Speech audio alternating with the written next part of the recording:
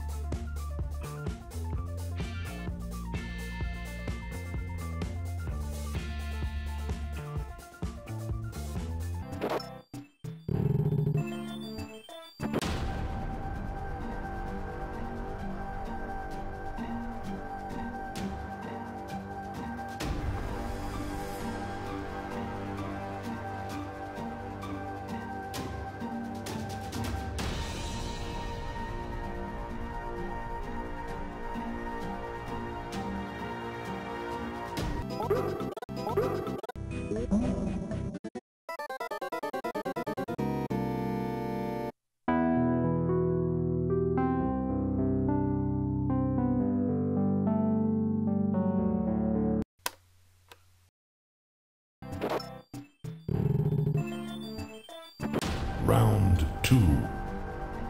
Fight!